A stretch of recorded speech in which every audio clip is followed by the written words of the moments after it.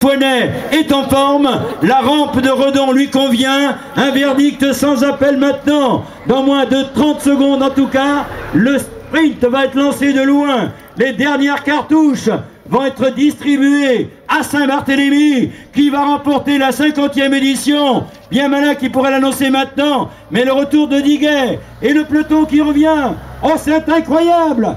C'est une arrivée au sprint, mesdames, messieurs. Diguet est en tête, mais la reprise est possible.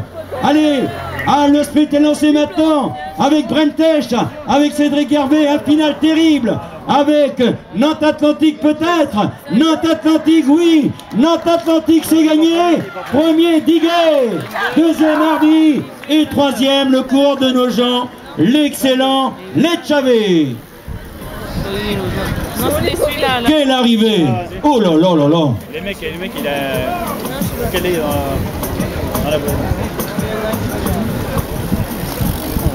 Alors que Julien Gonnet, qui franchit la ligne, qui a beaucoup souffert depuis le début de saison, mais il a obtenu également d'excellentes prestations, notamment Nantes-Ségré. Voilà, le Nantes Atlantique réussit souvent à Redon. Aujourd'hui, c'est Christophe Diguet, auteur d'une longue échappée, d'une belle dernière sortie et d'un final explosif. Gonnet, Diguet, tout ça dans un mouchoir de poche. C'est vrai que sur ce final, on a pensé que les Nantes Atlantiques allaient dominer la situation. Julien Gonnet qui, qui sort sur deux belles classiques avec effectivement